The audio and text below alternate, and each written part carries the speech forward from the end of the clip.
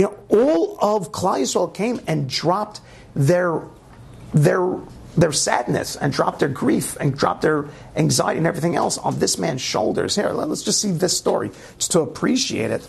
Allow me to. Okay, so this is written by a guy who went and parked himself inside the houses of very many tzaddikim, and he just that's it. He became a piece of furniture there. And uh, by the way, incredible. Like, like really, really. I, I, wish I had these uh, like, like this guts to do it.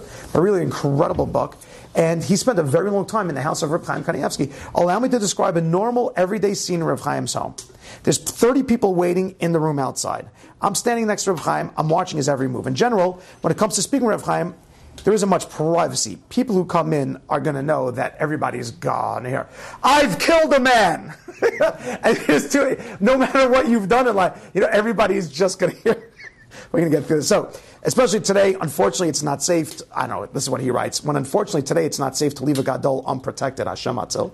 There are always other people around. The first person comes online. He says to Reb Chaim, he says, "I'm married for seven years. We still haven't had children yet." Reb Chaim says to the guy, you should do shiluach haken. You should send away uh, the mother bird, the mitzvah of doing shiluach haken.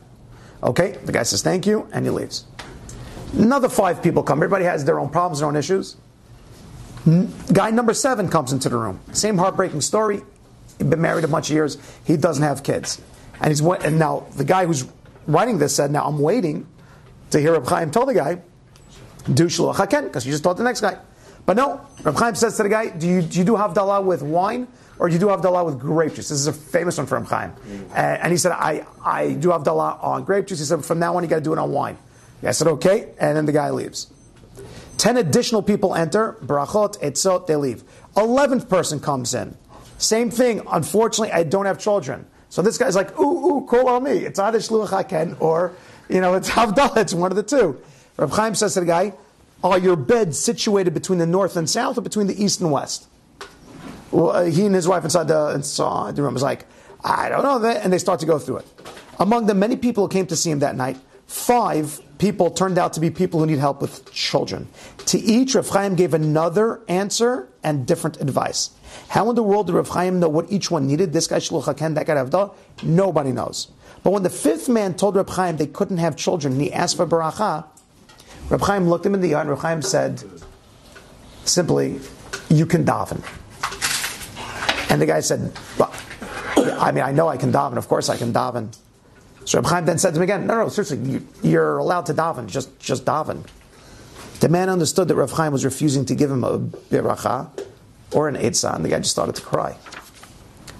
Why doesn't the Rav want to give me a bracha? He asked.